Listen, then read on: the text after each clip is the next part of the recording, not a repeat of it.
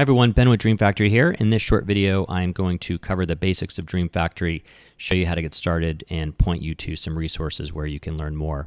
So Dream Factory overview, Dream Factory is a REST API platform. It's an open source product, Apache license. You install it on a server, uh, in the cloud, on your laptop, and it eliminates a bunch of the server side coding that you would normally have to do if you're writing a mobile application, a web app, or Internet of Things uh, use case, it instantly generates APIs, so you don't have to write code to actually build your own APIs. Provides server side scripting for customization of API endpoints in a very simple, easy to use way.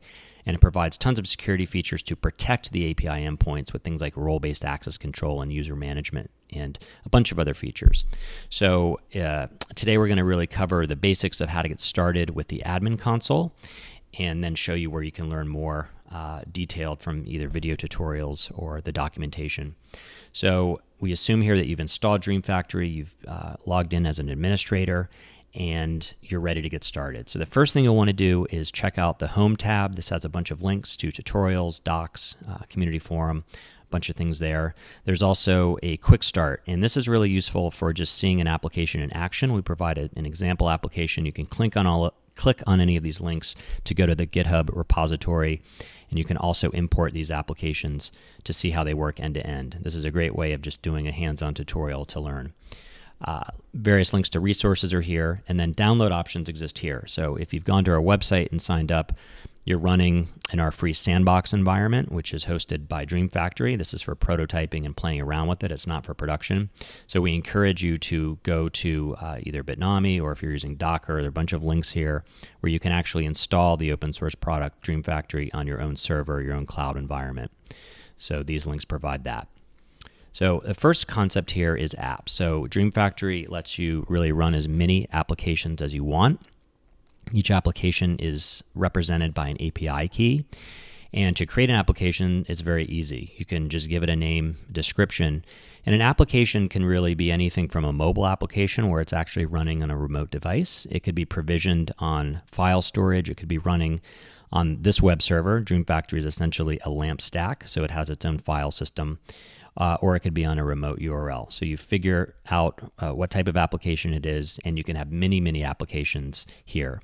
You can also import these example applications that I mentioned. So just select these and import them, and that's a good way to get, actually get started and see a real application in action. The next thing, I'm not actually going to go in order here. I'm going to cover how you would actually start building an application. So the next concept is probably the most important that is the idea of services. And we call services basically synonymous with APIs. And so here is a list of services that are in my own Dream Factory environment. It lists all of the services here. a service you create is very easy. So Dream Factory provides out of the gate a ton of different automatically generated REST APIs for just about every major database, covering everything from SQL to NoSQL, and Dream Factory securely stores your credentials to that database, automatically generates an API, and inherits the security permissions of the credentials that you put in. So that is really, really key for any application that relies on data that's stored in a database. File systems are supported with S3, Azure Blob, and some others. This generates auto generates APIs for file systems Email is the same, so you can automatically get a REST API for various email services, including obviously SMTP, notification services such as Apple, AWS, and GCM, remote services. If you need to hook in a remote API, say you have your existing REST API that you want to use, you can connect it via HTTP by putting credentials in. Very easy. Scripting we'll cover later, but this concept is if you want to or need to write a custom API, one say that Dream Factory doesn't auto generate, you can easily script that, basically write your own API and document it with Swagger. And we have some videos that show all of this in action, so I won't cover too many of the details. OAuth is supported, uh, various OAuth providers. LDAP, Active Directory and Standard LDAP. Caching, so local cache, memcache, and Redis logging, or logging API calls to Logstash, and single sign-on with SAML 2.0. So I will mention that most of these APIs are open source. Uh, not all of them are, though. So if you go to database, for example, and uh, click on Oracle, if you haven't licensed either our silver or gold product, it will prompt you to uh, contact us to get a license key for that. But most of these are open source and they just work. And um, that's all there is to it to connect. The next thing is once you've connected to your service, say it's a database, you have API docs that are automatically generated for you. And this is really key. This is for uh, uh, interacting with the API, making live API calls. The APIs are documented with uh, Swagger version 2.0, and you can break up, open any of these. Dream Factory auto generates these endpoints, so it wasn't um, developed manually in any way by developer. In my case, I just connected to this database, and now I can make API calls. Making API calls is very easy. Uh, we have videos that show you a lot of the details, but the concept is you simply put in, say, the name of the table that you want, and then you have various uh, parameters that are appended to the URI when you make the request. So things like filter strings, limits, foreign key relationships, offset, sort order, uh, all of that. So I'll just make a very simple call, limit to 20 records or something.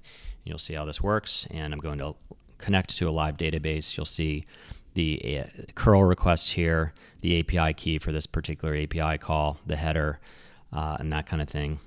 The request URL is very simple. You can see it's structured here, contact table, and then a question mark with the parameter limit 20, and these are appended depending on what parameters you put in. Then it re returns a JSON response body with a 200 uh, response code. So that's how it works, and you can break open any of these API calls. So whatever you did in your service, it could be, say, a NoSQL database like Cassandra, auto-generated. It could be a custom API where we uh, coded some logic and put a Swagger definition behind it. It could be things like uh, files from the native file system, things like Twilio, for example, which is a remote web service that we connected here. Uh, everything shows up there and it's ready to use. So that's API docs in a nutshell.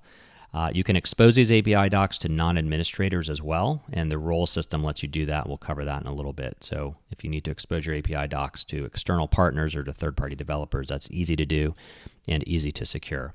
The next thing I'll show is scripting real quickly. Uh, the idea of scripting is all of the APIs, the services that we show have endpoints, and on those endpoints in either direction, either on the request or the response, you can implement business logic. So you can basically navigate the hierarchy of the REST API tree. And here I'll look at some simple calls.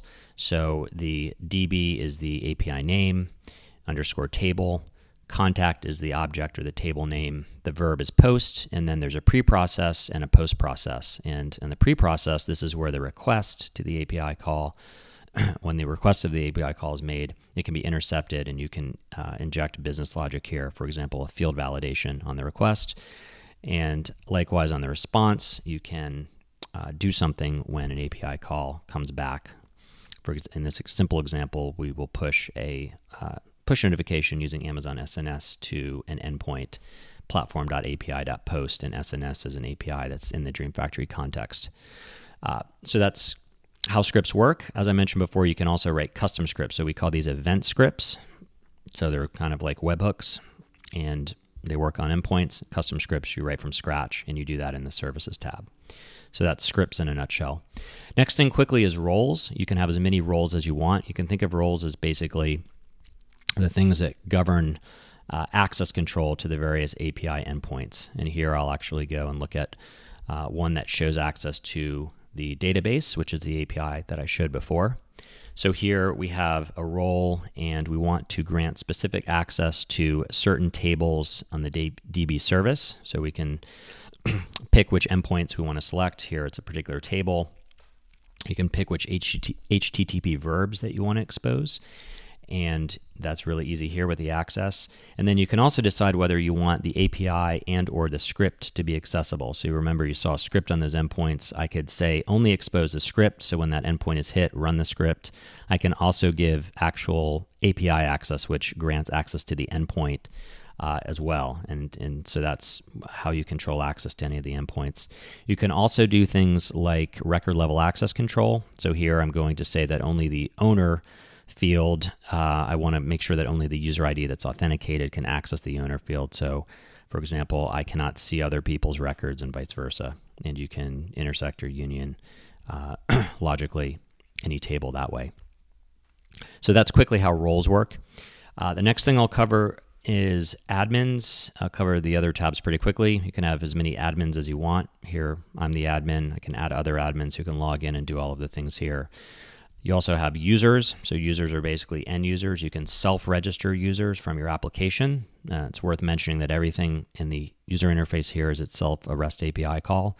You can also add users via the, the user interface. So you can tightly control uh, who is granted access with roles and with users. The next thing I'll cover is schema. So any of the databases that you connect to uh, are accessible here. So here I can look at the contact table and the various fields here. You can add, remove fields, etc. Uh, this is just a convenient way to do that. You can obviously do it in your database as well. Data is similar to schema in that you can see the actual records of the data and you can set that service and do CRUD operations on data that's in your database. Another convenience measure.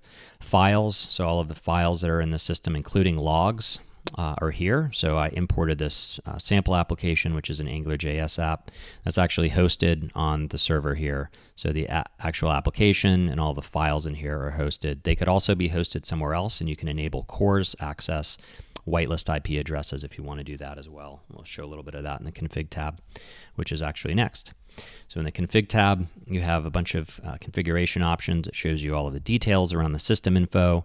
Uh, you can clear the cache, uh, which basically if you add tables, things like that um, to your database, you'll want to clear the cache because Dream Factory actually caches the metadata to make the API calls really fast.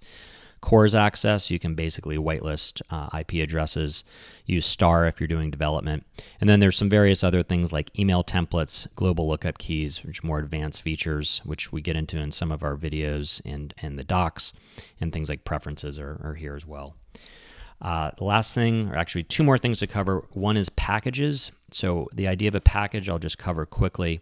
You can import and export packages. So packages are basically all of the configuration that you've done in Dream Factory. You may want to zip up as a file and move to a different instance. So say that you're on a development box, you've done some work, and you want to move that to a, another, uh, say a test server. You can bundle it up as a package, and then either use the REST API to push it to a different Dream Factory server or import it on that Dream Factory server via the import package feature here. Uh, so that's pretty straightforward. You can pick out anything, the roles, the services, whatever you need, and easily export it out. The last thing I'll cover is limits. This is, you will not see this if you haven't licensed our gold product. Uh, so disregard if you're just using open source. Uh, but what limits is, is the ability to set API limits. These are rate limits at various levels, the whole instance, particular users, particular services, particular roles. And what this does is it enforces and it limits the number of API calls that can happen over a certain period of time. So in this example here, we're saying only allow 1,000 or 100,000 rather API calls per hour and start counting those. And if API calls exceed that limit, then they will be throttled and basically rejected until the limit is um, uh, until API calls are back again under the limit before. So that's a quick overview of Dream Factory. Has a ton of features. It really automates a ton of your server side development, makes it much, much easier. I want to point out a couple uh, things worth checking out to get into more details. If you go to wiki.dreamfactory.com a bunch of documentation here, including uh, some videos, so how to videos that go into a lot more detail around each of the tabs and show some basic use cases on how to uh, set up and configure. There's a lot to cover in a starting video, so you'll want to check out those for more details. Um, and then lastly, go to dreamfactory.com to learn more about uh, features, uh, some of the case studies we have, and then products. And here, this is a product matrix, so you can see what's available uh, with the open source product versus our silver and gold product. As I said, most of the features are in the open source product, but you get additional APIs with silver, and then you get API management, which includes things like API limits, API logging, and API reporting with the gold product. So I hope this is helpful to everyone. Uh, and check out our website, www.dreamfactory.com. And thanks for watching.